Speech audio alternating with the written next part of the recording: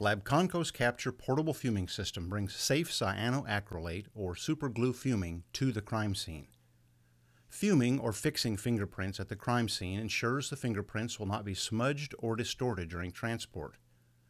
Processing evidence on site saves time and money. This unique product includes a programmable digital heater, a clear fuming chamber, a built-in blower, a combination filter cartridge, and a complete set of accessories.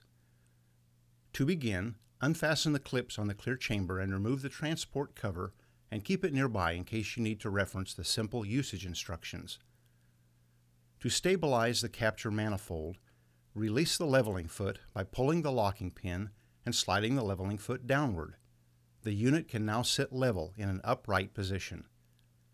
It is very important to pre-treat the interior of the chamber with Rain-X or Rain Block. Without treatment, the superglue fumes will deposit on the clear chamber, making visibility difficult.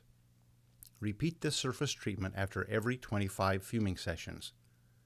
Assess the crime scene and determine what accessories will be needed for evidence processing.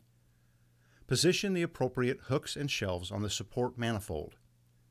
Multiple pieces of evidence can be processed simultaneously to maximize interior space and processing time. A fingerprint can be placed on a glass microscope slide to act as a control. Place the slide in one of the three open slots.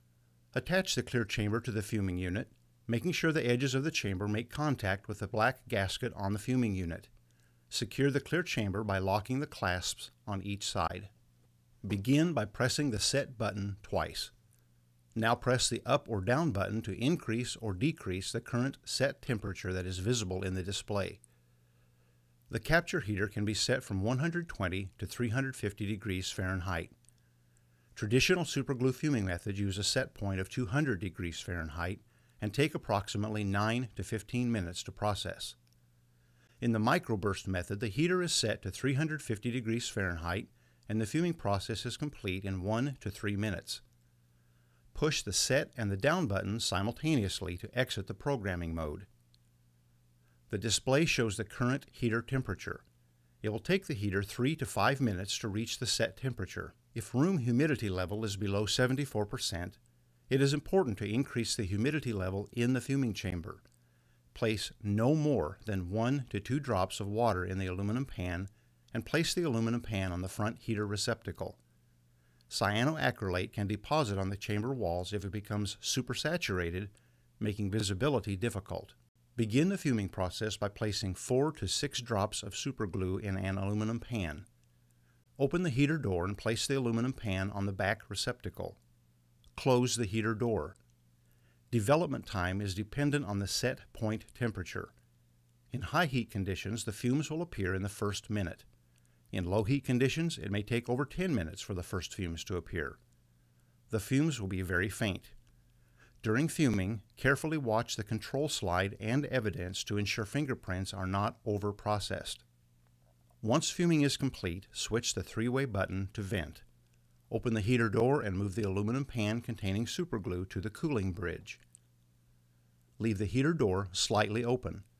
Allow the blower to run for 5 minutes. After 5 minutes, unlatch the clear chamber and retrieve the evidence. Once all the evidence is processed, the Capture portable fuming system can be quickly disassembled and placed into the compact carting case.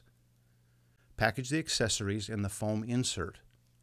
Check to make sure all aluminum pans have been removed from the heater before packaging. Pull the locking pin and slide the leveling foot to the upward position. Return the fuming unit to the clear canister. Finally, place the transport cover on the top and secure the clasp to the lid. The capture is now ready for transport to the next crime scene.